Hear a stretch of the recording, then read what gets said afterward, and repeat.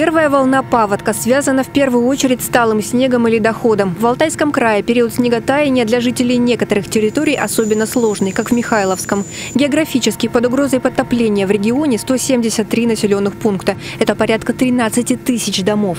Остаются подтопленными около 70 приусадебных участков и 20-30 домов. А уже освободились от воды почти 2000 участков и 735 жилых домов.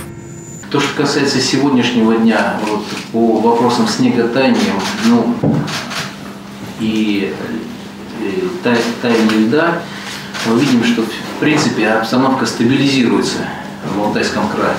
Но, соответственно, соответственно, в рамках особенностей климатических и территориальных, э, все вы знаете, что будет, наверное, и вторая волна.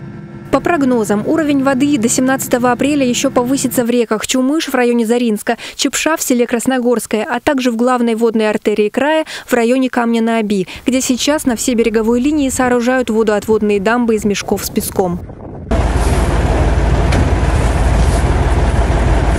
Может, туда или подходить.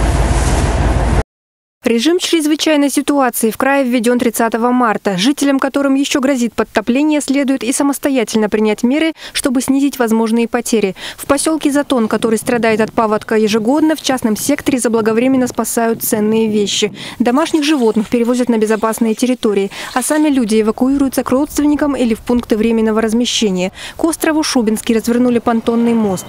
В регионе пострадавшим уже выплатили материальную компенсацию в 8,5 миллионов рублей. Принято еще 792 заявления на получение выплат.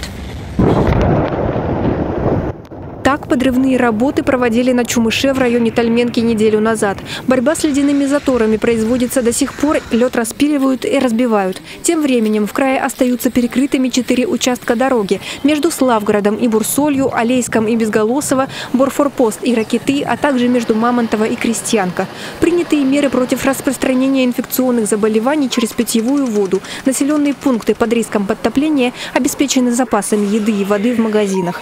Пока власти держат ситуацию с паводком под контролем и рекомендуют следить за информацией в СМИ всех жителей края. Дарья Ерошина. День с толком.